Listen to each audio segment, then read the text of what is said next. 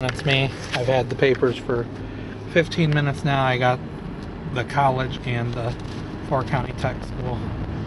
I'm just not too happy what happened when I pulled out of the gas station after I got my papers. Um, there was a maroon colored Chevy Cruze that got cut off by another car so they decided to take it out on me. Almost rear-ended me three times. Slammed on my brakes, sent these papers flying across the dash. Caused my St. Bernard to fly on the floor. He gave me a look like what the hell happened. Um, then I sped up, got around them when they passed me.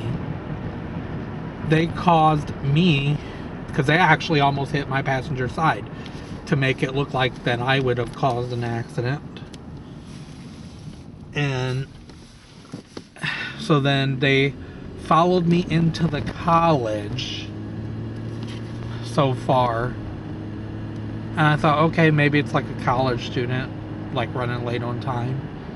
Delivered the papers there, drove around where they parked, and car wasn't there. So I'm thinking the person was going to try to cause some problems, and then when they realized, oh, he's doing a job, that they decided to take off.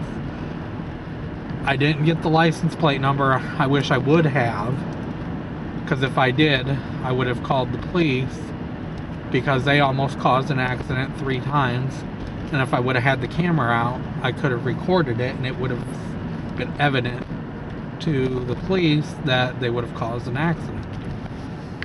So I should have had the camera out. That's my mistake. But I didn't have time to get it out when I pulled out of the gas station because I wanted to get the route started. But yeah, people don't care. Even having a yellow flashing light on the top of your car, considering that means proceed with caution. It doesn't mean nothing. I don't even think anybody even cares that I have that. Because I've had drivers cut me off, flip me off, scream at me, and it's like, really?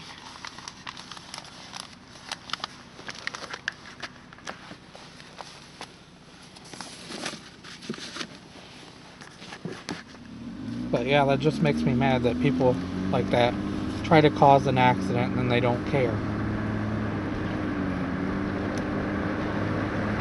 And the thing was, it was somebody that cut them off, so they decided to take it out on me. And I didn't do nothing wrong. I was the innocent one. I even came up behind them when I decided to pass them. Laid on my horn, flashed my bright lights at them several times.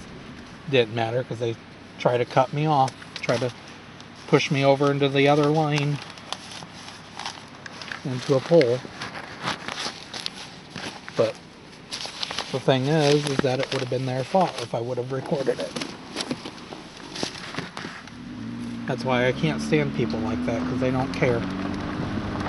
People like that don't need to be driving. And I don't care who they are. They think that they own the road. No, they don't. But I want to try to get the route done as fast as I can, because it is cold out. And I don't like having this window down, because it it is freezing.